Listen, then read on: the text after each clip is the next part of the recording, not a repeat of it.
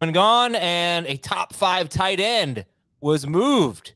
Uh, two players named Chase are wait, was it my right? Chase Edmonds. Yeah, yeah, two chases were moved. That's right. they were on the case. Chase Edmonds and Chase Claypool on the move. Welcome to the Fantasy Football Today bonus show. Sorry about that. Let's talk about the winners and the losers here.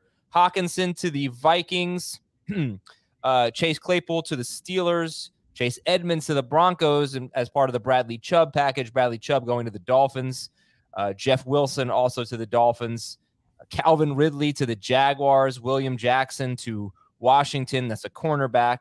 Uh, no, Pittsburgh, sorry, from Washington to Pittsburgh. And just before the deadline, Nyheim Hines going to Buffalo.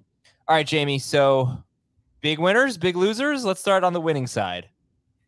Uh, the winning side would be I like Nyheim Hines going to Buffalo. I think that's a good move to help his fantasy value, given how the Bills use their running backs and what he should be able to do for their passing game.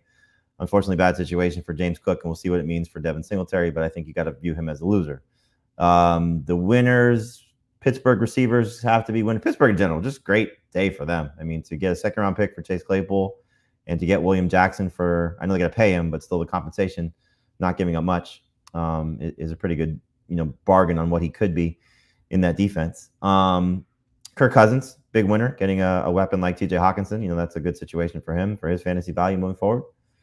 Um, got to got to say Justin Fields is a winner, right? Getting a, a, a better upgrade at the receiving corps. You know that's a nice situation for him. Um, yeah, I guess you could view Amon St. Brown as a winner, Josh Reynolds as a winner. You know, just taking T.J. Hockenson off the field. You know that should free up a few more targets there for them. Yeah. So, and then you know, some small winners. I think you know you look at Jeff Wilson is uh, is a winner going to Miami. You know, he's an injury away now from being fantasy relevant again. Clearly, that you could have said the same thing maybe in San Francisco, but Elijah Mitchell's impending return, you know, probably would have made that a messy situation should Christian McCaffrey, you know, miss any time. Um, Chase Edmonds is a small winner. You know, now he gets a chance to play, uh, hopefully, um, in Denver. So there's there's a lot of different ways you can go about this. You know, just looking at. I think the biggest winners though for me would be the Steelers receiving corps, Kirk Cousins, and Nyheim Hines. Okay, and I think uh Darnell Mooney loser. Slightly, you know, I I think you know you want to see how this this works because it, it goes two ways for me. One, yes, he could go from the number two, the number one to the number two, um, in in the Bears offense. But you would have to hope, which is what we see when teams do this, is they're trying to beef up their passing game, right? They're trying to make it, you know, where they're going to throw the ball a little bit more. So if he's five, six targets in a low volume passing attack with Chase Claypool, he's awful. If he's six to eight to maybe six to 10 targets, eight to 10 targets in this offense because they're throwing the ball a little bit more, then I think he's a slight winner, to be honest with you. Well, you're giving him more targets now. So you're saying they're going to throw the ball more. Um, I'm okay. hoping. I'm not yeah, saying I'm like, hoping. Like Claypool, Claypool is going from one of the worst passing teams in the NFL to the maybe I shouldn't use the word worst, but the least prolific passing team in the NFL. No team throws fewer times or for fewer yards than the Chicago Bears. So hopefully that will change and they throw the ball a little bit more. But obviously, you want Justin Fields running. He's better as a rusher than he is as a passer. So uh, Claypool is someone who is available, uh, sixty percent ish rostered, and like, does he become a waiver wire priority for you now? Um, would you rather have him or Josh Reynolds, who is also about 65% rostered? And, and Reynolds is the red zone and green zone target leader for the Detroit Lions. They lose the guy who was second on the team in those two categories. St. Brown's had some injuries, or he'd probably be ahead of them. But, but you know, would you rather have Reynolds or Claypool right now? I think I'd rather gamble on Claypool's upside, you know, just to see what happens there because he could be the number one receiver as opposed to, you know, Reynolds still being the number two guy um, if not, you know, maybe the number three guy if Jameson Williams ever gets on the field. So, you know, I, I probably would take a chance on Claypool, but I can see where you're going with Reynolds. You know, hopefully this frees up some things for him and makes him a little bit more attractive. Do you drop Chase uh, Chase Claypool? Do you drop him for you know someone you really like on waivers like a Josh Palmer or a Rondale Moore, or is this a, a big enough boost for him that we should hang on?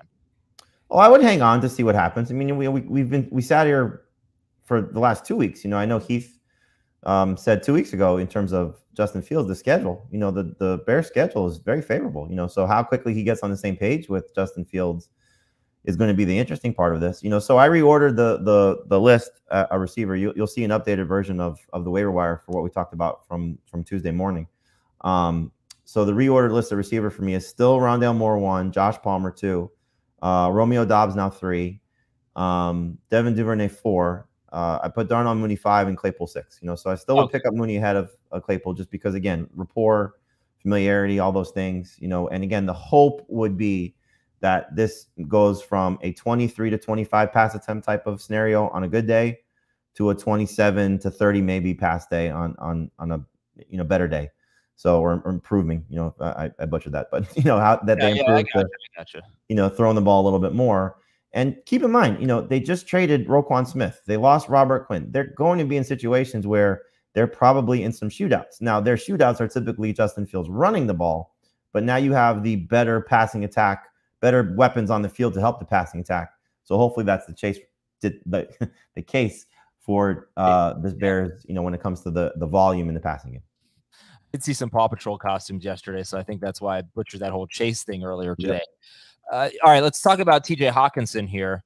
So he actually, just statistically, is getting a downgrade in passing offense. Jared Goff is averaging 272 yards per game. Kirk Cousins is averaging 247 yards per game. We're talking 25 fewer, it's like more like 24 fewer yards per game, but we're hoping that that improves for Cousins. He said it extremely inefficient, almost career low, 6.6 yards per attempt. We know he's better than that.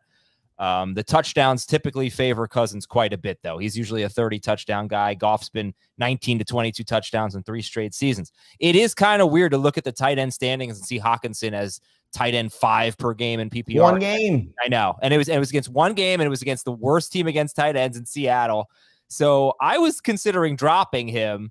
I, I have Schultz and well, I can't drop him this week because of Schultz on, on a bye, but um, I didn't really value him as a must have tight end, uh, even though tight end's so thin. How do you, do you think this is any better for him, any worse? And how do you value Hockenson? I'll give him a slight upgrade because we know that Cousins in his history, not necessarily in this offense, but you did see, you know, the last two games they've thrown two touchdowns to their tight ends. Week seven against Miami, excuse me, week six against Miami. Then they're buying week seven. Uh, Irv Smith scored against the Dolphins week eight, you know, Johnny Mundt scored against the Cardinals.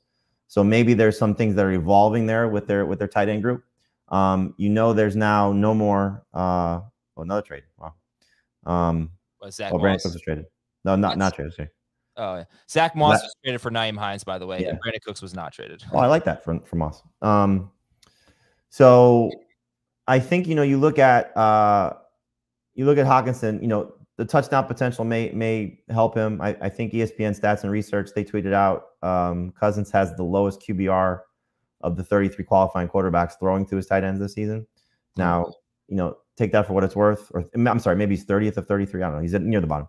Mm-hmm. Um, take that for what it's worth because you know Irv Smith missed the start of the season. Who knows how long it took him to get fully healthy, and then this offense just has a lot of mouths to feed.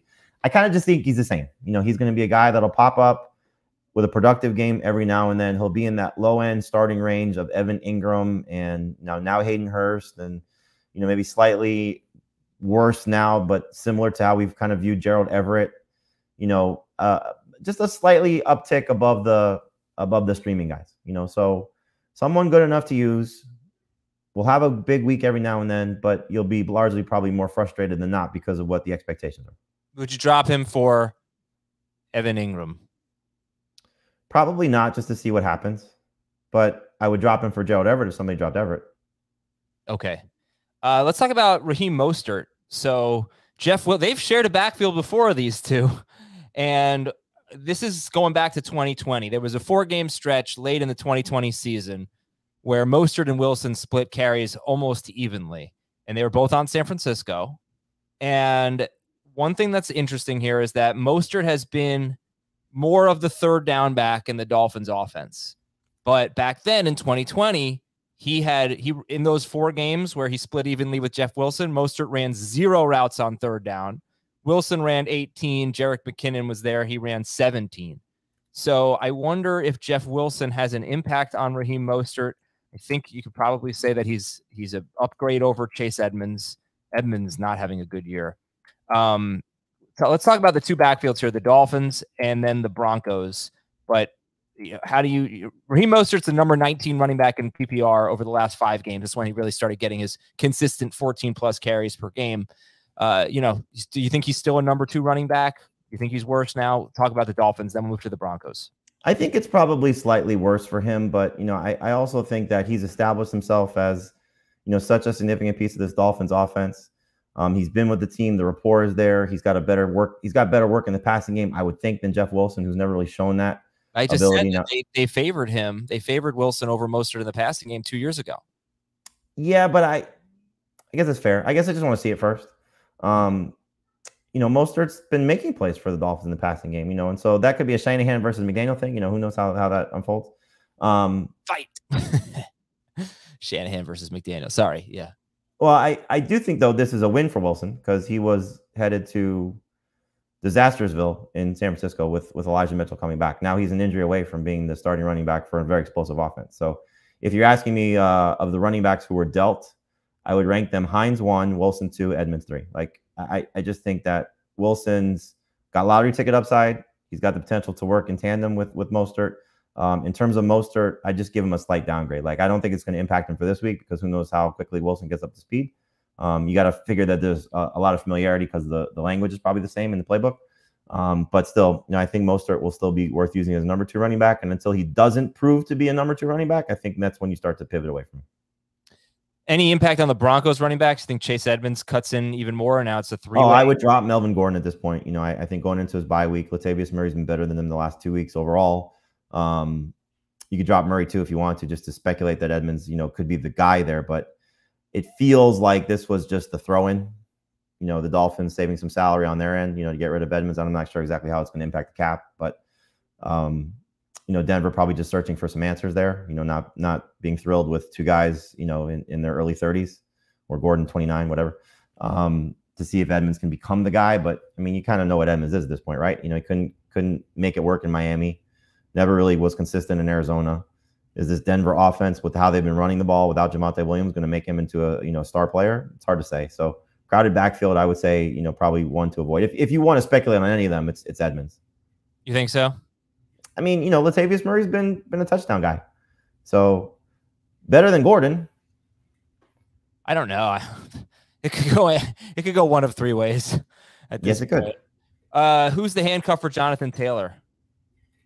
I would say it's Deon Jackson. You know, I, and I think he's somebody worth worth that. You know, I'd probably take him at this point over uh, Edmonds. I put him after Wilson. You know, we saw Deon Jackson have a 10 catch game in the in the game where uh, against Jacksonville week six when both Nyheim Hines and, and, Jonathan Taylor are out. I would imagine that if something happens to Taylor, we'll see a, a, eventually a, a, shared backfield with Zach Moss and Deon Jackson. But they clearly like Deon Jackson enough to make this move.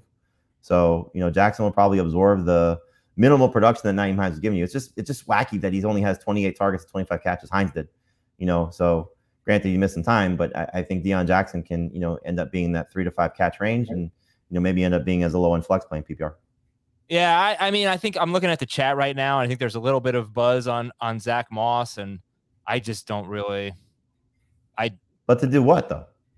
Uh, to be the handcuff, you know. To uh, well, I, am I'm, I'm I'm probably just looking at a few comments and and generalizing here, but I I would think Deon Jackson would be ahead of Zach Moss. This is not.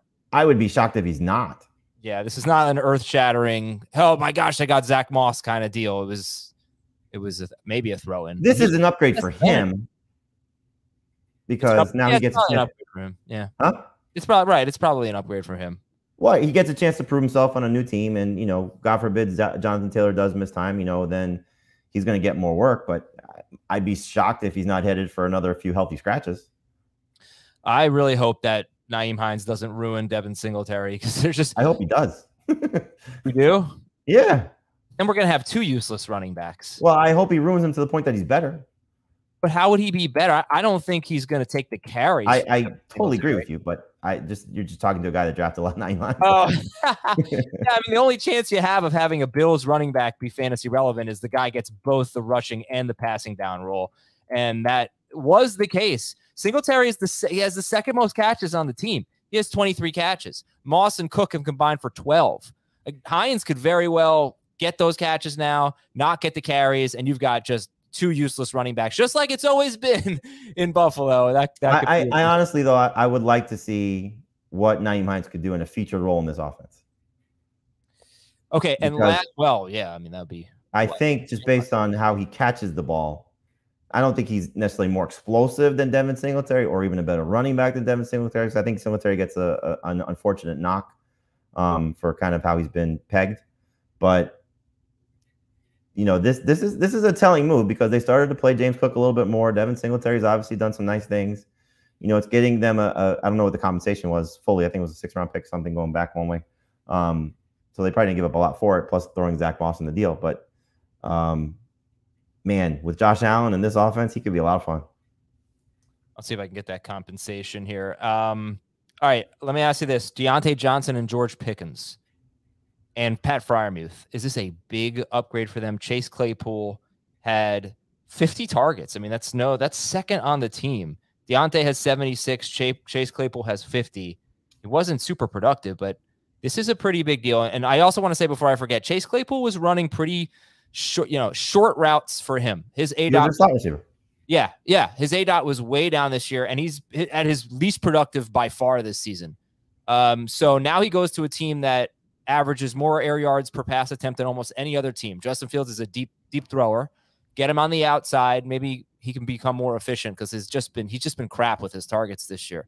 Um, but that's that's a topic I guess for another show. So um, I don't know why, but could be a topic for this show. But for for Pickens and for Johnson, losing the number two guy in targets seems like a big deal on paper uh, at the very least, you can't drop them now, right? And then right. So you were you were on HQ with uh, with me and Heath on Monday, and Heath's topic for believe it or not was all the Steelers wide receivers are droppable on their bye week, and you brought up the point which I thought was valid that they didn't have a concentrated offense to funneling their targets. I don't know exactly how you phrase it, but I know that's what you meant. Exactly. So yeah. now you have hopefully those three guys operating like what we tend to see from top tier wide receivers and top tier tight end. They're not the upper echelon of guys, but they certainly have the potential to be if Kenny Pickett can be, you know, something resembling what a, what a developing quarterback and maybe eventually what he can become, you know, featuring these guys. So yes, I think the, the it's not like the target volume hasn't been there for Diontae and at times for Pickens, so it's hard to say like they're going to see that much more work. But maybe this just opens up more opportunities for them in some key situations, some short yardage things, which have been beneficial for Diontae Johnson during his you know breakout run the last couple of years. Maybe it helps George Pickens a little bit. Maybe it helps Najee Harris. You know, I mean, maybe now some of those targets go his way, and we see him be be back in the good graces of uh, in the passing game that he was. Uh, like he did with with Ben Roethlisberger. So everybody wins in Pittsburgh without Chase Claypool there, just because there's more chances to touch the ball. All right, gone round and round here. Um, fun day. You know, I glad the NFL trade. You know, that got laughed at. I'm going to tell Dave and Heath tomorrow. They scoffed at me a little bit when I said the NFL trade deadline is something now, something like that, and they were like, "What?" Like, eh, you know, 15 years ago or whatever, we didn't have a day like this. This didn't. No, exist. this is like the NBA. Yeah, this is not, you know, it's not quite MLB and NBA, but it is it is getting better, and maybe one day it will be it just keeps seems to to get uh, more exciting. So oh, another trade, another trade. That? Nah. Right at oh, the deadline. Oh, Chiefs, the Chiefs. They traded Rashad Fenton to the Falcons. That is weird. Fenton was a was a really important player for them. So I thought. I mean, the one game they played without him recently, maybe they played two games without him. His replacement got absolutely torched. I can't remember. It was a primetime game, whatever as that's a starting cornerback going to the Falcons who really need a starting cornerback. Um, all right, that's pretty interesting. And of course, you know, we look at the Dolphins as one as this incredibly easy matchup now for quarterbacks. Well, their pass rush just got much better. So we'll have time to talk about that as we take a look at um, one other trade we should discuss for dynasty purposes, the Calvin Ridley trade.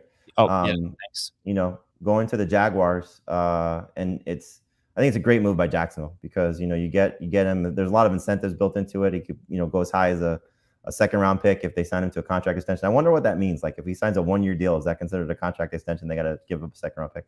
Um, but in, in, any event, um, clearly Atlanta moving on. You know, we had the what what ends up being a really stupid suspension because of what he did by comparison to a lot of what other players have been suspended for. You know, uh, gambling on on on a game.